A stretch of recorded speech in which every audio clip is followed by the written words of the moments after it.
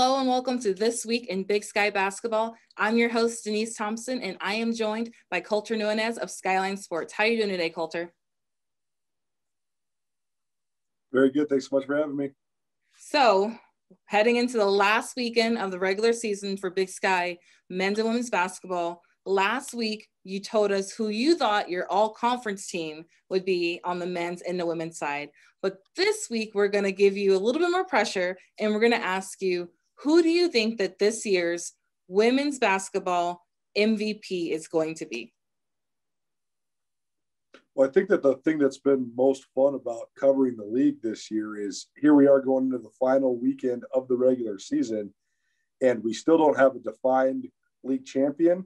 And I think because of that, then we still don't have a defined MVP as well. There's three teams still in the women's race that league championship Idaho wins. If Idaho wins and if Montana State wins the championship, I'll give you who I think the MVP should be from each of those teams because I like to give it to the. I, I think that the MVP deserves to go to the best player or the most valuable player on the conference championship team. So we'll start with Montana State since they're in third, and I think that um, the uh, it, it's a it's a it's actually the most the easiest answer among the three teams because I think that Darian White is the most important player for Montana State. I think they've gotten awesome contributions from all their young freshmen. Tori Martell absolutely deserves to be an all conference player as well as Montana. But Darian White is just the straw that stirs the drink. I think that more than any other player in the Big Sky, women's or men's, I think that her contributions go so far beyond the stat sheet. If you just watch her play, she's just such a tremendous um, dictator of everything that happens in the game, uh, both on offense and defense. So I think she's their most complete player. If Idaho wins, I think that they have multiple um, young ladies that could be considered for MVP. Gabby Harrington has had a breakout year. Um, if there was a a transfer of the year type award, she would definitely get it. Uh, you can't really call her a newcomer since she spent the first three years of her career at Montana, but she's had a great, uh, great season. I think Gina Marxen's been great as well. But I think that Beyonce Bea has really taken herself to the top level of the league. I think she's been the most consistent producer. So if Idaho wins, I'm going with Beyonce Bea. That those two are Darian White, Beyonce Bea. That's a pretty good indication of things that people in the league should be excited for because both those young ladies are only sophomores. And then Idaho State has so many big time contributors. They have been so balanced. I mean, Idaho State is in first place in the league without winning a Player of the Week award because they just haven't had any single player that has performed and put up crazy numbers in back to back games. That's how balanced they are. So you could talk about Diaba Konate, you could talk about Dora Goles, you could talk about uh, Stefania Ors. Uh, but I think that if Idaho State wins the league, Callie Bourne's the MVP. It might sound crazy to say that somebody only averaging 10 or 11 points per game is the league MVP, but I think that she does so much in terms of the way that they move the ball offensively. She can play on the ball and off the ball, and I think she's their best defender both on the perimeter and in the post. So uh, I just think eye test wise, she is the most important player on their team. But I think you can't. I mean, you can't really go wrong because they have four all conference caliber players. I think at Idaho State. I think that's why they're in first place. So uh, those are sort of my three choices, it just depending on who wins the league. Well, absolutely. And like you said, it's so great to see all these teams competing at such a high level that we're even having to have this conversation of there's so many people that are setting themselves maybe apart from the rest, but even that small group at the top, they're all deserving. You know, they're all leading their teams where they're supposed to be. They're making that impact. So it'll be very interesting to see who comes out on top and who is named the Big Sky Women's Basketball MVP this year. Uh, we're just going to slide over a little bit. You know, you just told us what you thought, or who you thought the women's possible MVPs would be. What about on our men's side?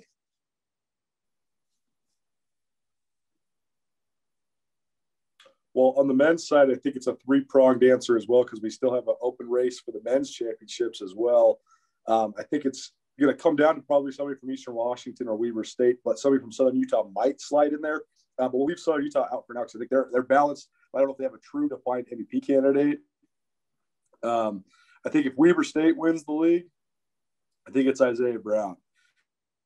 Uh, he's the leading scorer in the conference back um, for Weber State, and I think that there's a twofold story there as well not only has he been tremendous at Weber, not only has he got them in the hunt for the league title, but Randy Rahe getting him to Weber State also kept him from going to Montana and Montana State. He was definitely in the mix to go to one of the two Montana schools as well. So twofold, Randy Rahe gets one of the best players in the league, and a couple of his rivals don't. And so I think that has a huge impact on the league as well. But Isaiah Brown's been great. I think he's an awesome shot maker. He's an explosive scorer, and uh, he's one of those guys where he can go get you 30 if you need it. And I think that's what's going to give Weber a real chance in the tournament because I think that he can truly put you on his back and lead you. If Eastern Washington wins it, I would actually be sort of inclined to vote for Kim Aiken because I think he's the heart and soul of that team. I think he's the best two-way player of that.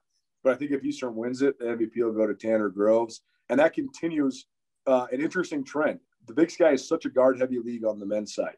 Yet, if Tanner Groves wins the MVP, that'll be the fourth time in five years the big guy has won the MVP. And what's the common thread there? They all played at Eastern Washington. And so I think it's a testament to the way that they've recruited and developed and the fact that, you know, he Bliznyuk was uh, he is kind of similar to Mason Peatling, who was last year's MVP. But I think that the thing that Eastern does better than anybody in the league is they recruit not just talent and they don't just develop that talent well, but the thing that they recruit in their big guys is big guys that play as hard as they possibly can. And I think that's the binding factor with all those guys is the effort. They just have such a high motor. And so um, I think that it, it is impressive. It shows just what continuity can do for a program too, because I know that Shantay Legans is in his fourth year, but he took over from Jim Hayford and they run largely the same system. They have largely the same player development strategy. So I think if Eastern wins I think it'll be one of those two guys, Kim Aiken or Tanner Groves, but I would be inclined to give it to Tanner Groves.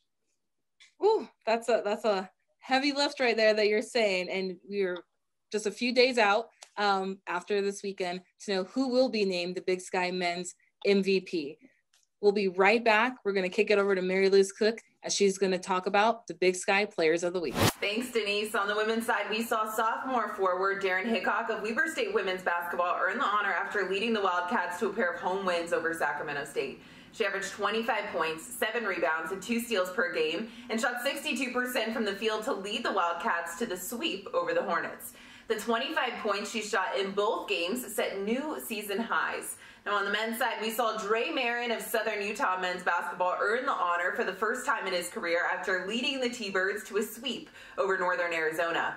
On Wednesday, he surpassed the 1,000 point barrier to become the 12th player in Southern Utah men's basketball history to reach the milestone. Across the two games against the Lumberjacks, Marin averaged 20.5 points per game, 4.5 rebounds, and shot a perfect 100% from the free throw line. Back to you, Denise. Thank you, Mary Luz, for talking about the Big Sky Players of the Week. And now we're going to get down to the nitty gritty. So, Colter, we do have the Big Sky Basketball Championships coming up in Boise at Idaho Central Arena next week. But the question I have for you is just talk about some of your favorite past tournament moments, um, whether that was previous years in Boise, in Reno, or when we were hosting on campus sites. What is a memory on the women's side that you remember so fondly?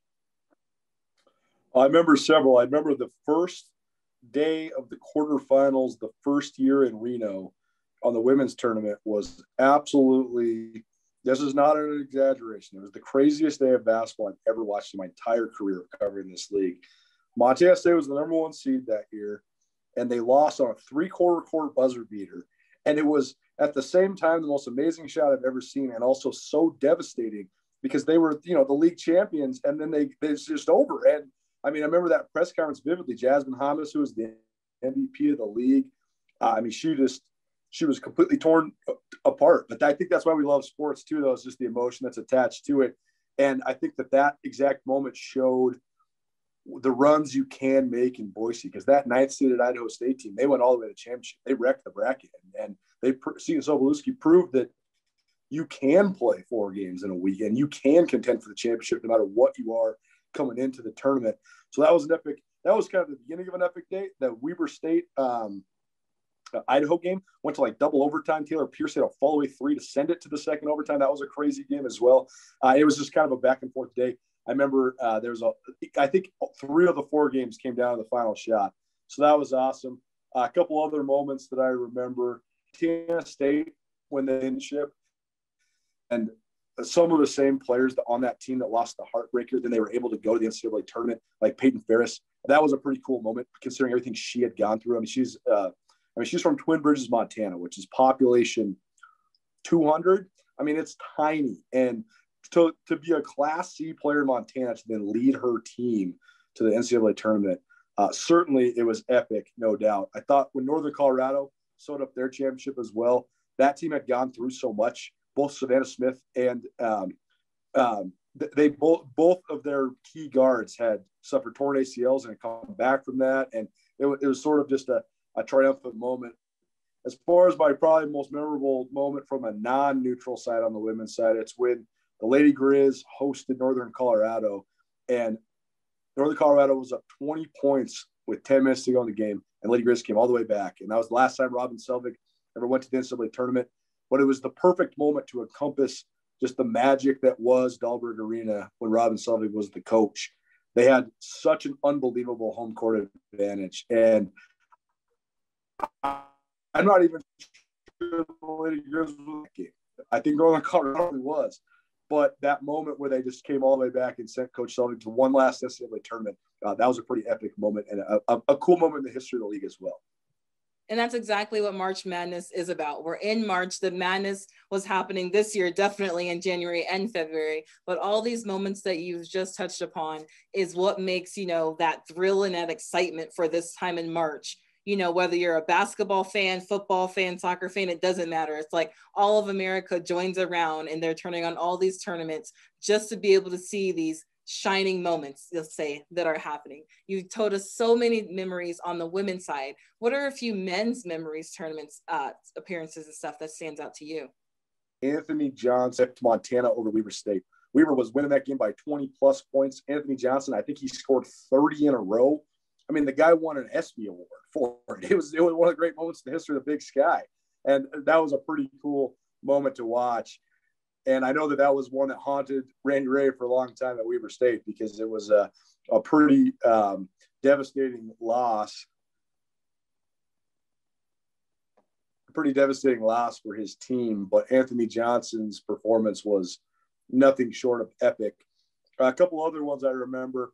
I remember Travis DeCuire from Montana cutting down the net for the first time, and Stu Morrill, who had been the coach at Montana years and years ago when Travis was a player, was in Reno to see that and uh, just the, the embrace that they had after Travis had won the tournament for the first time and was going to the big dance for the first time.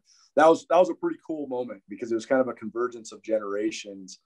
I remember probably the best game we've seen in the neutral site, an era I, I guess we'll call it, was in North Dakota, and Weber State just went up and down the court. It was such an entertaining game, and when North Dakota won, the moment of Quinton Hooker putting on his hat and then having his dad come give him a hug. That was that was pretty epic.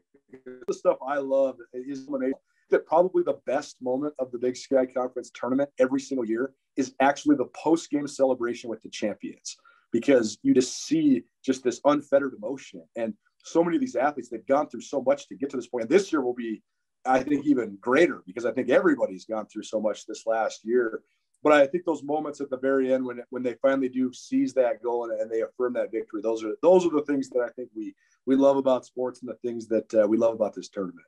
You know, absolutely. I'm sitting here as you're talking, thinking back visually. What are some moments that maybe we've you know your brother has caught those photos of and For i'm sure. thinking of desiree hanson you know laying on the ground in boise confetti all around her just absorbing that moment as the Vikings win the championship. They're headed to the NCAA championship. You know, you go to the men's side where you see when Montana wins and that embrace of the teammates together and that confetti is just in the background. And I think that, like you just said, the the smiles on the faces, the embraces, the that true emotion that is coming out of the coaches and student athletes and staff that have prepared more than just this year. You know, some of these have been preparing since they maybe got the job two, three, four years ago to get to this moment. And I think that it's things like that that make once again March and conference tournaments so exciting um, for fans to cheer on. It's talking about moments and exciting. What are a few of those just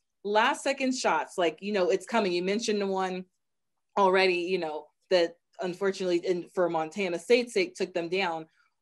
Who are you going to right now to ask to take the last shot on the women's side? Well, I think that she has established herself because she's she's done it twice now in the last month. That's Tori Martell at Montana State. I thought the the play that they ran for her to to hit the three to send it to overtime against Idaho State two weeks ago was beautiful. It was perfectly executed, and uh, Tori Martell, if she has her feet set, she is the best shooter in the league by by a lot. I mean, I think she could beat all the guys in the shooting contest for sure if she gets her feet set.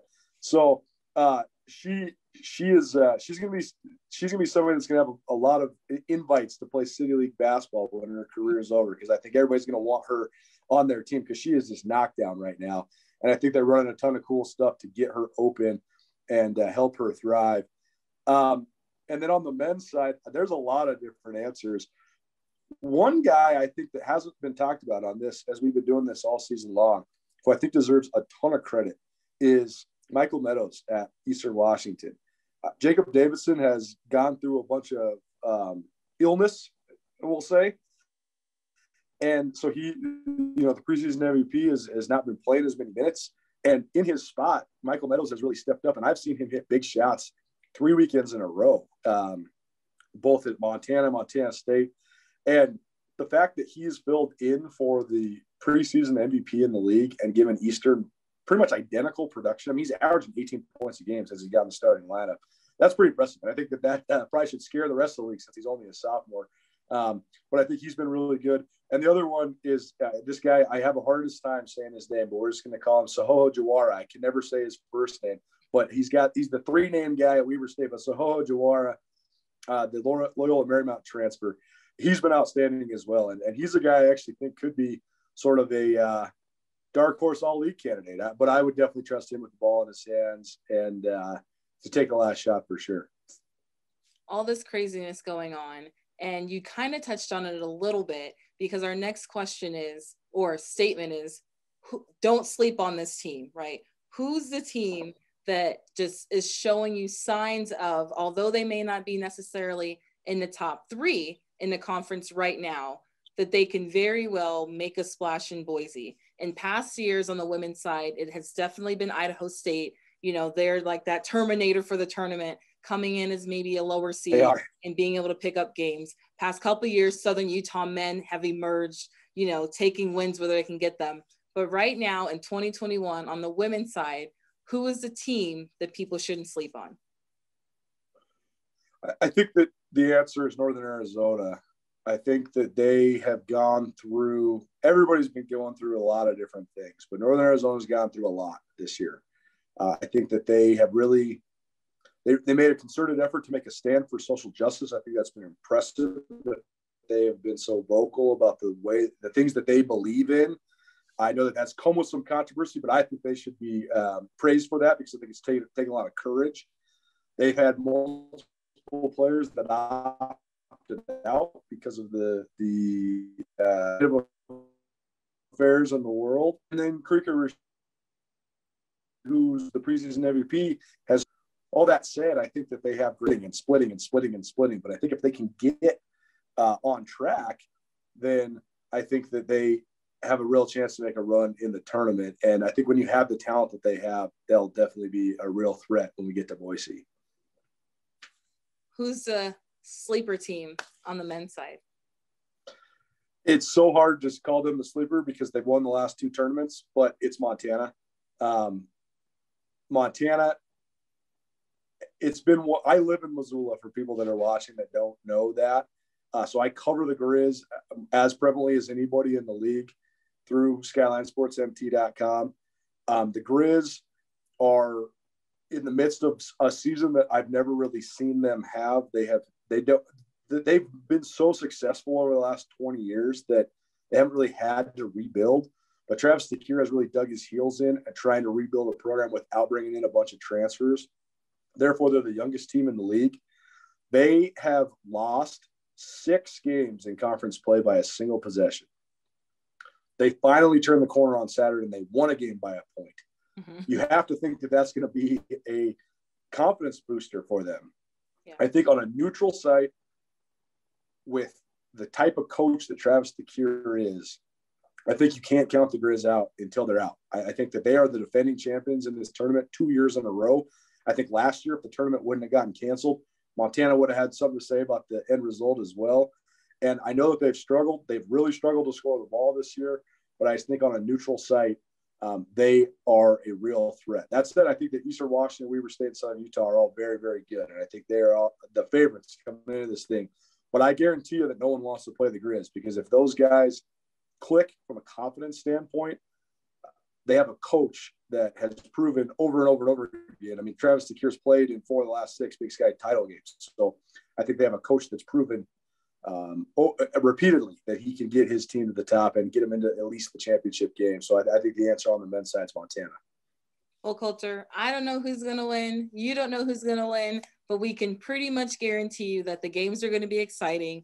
We're going to have some down to the wire games, and that's just what makes March Madness so great. Thank you for joining me so much today. We will see you in Boise next week for the men's and women's basketball championship going on at Idaho Central Arena, March 8th through the 13th. As always, thank you so much for joining us on this week in Big Sky basketball. And we'll take it over to Mary Louise Cook as she'll talk about the standings as we head into the final weekend of regular season play.